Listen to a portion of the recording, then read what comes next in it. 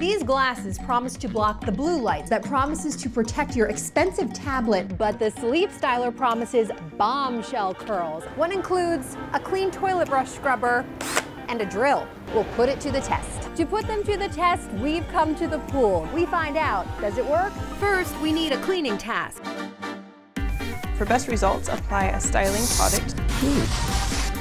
Our volunteers could not contain their laughter. Woo! I am hopeful. I think it's going to be fun. I am skeptical. That's a shame. I was really expecting that one to come out. What practice makes perfect. Yeah. I think that this is a great product. It's interesting. There was absolutely no genie in this bottle. So does it work? But does it work? But does it work? So does it work?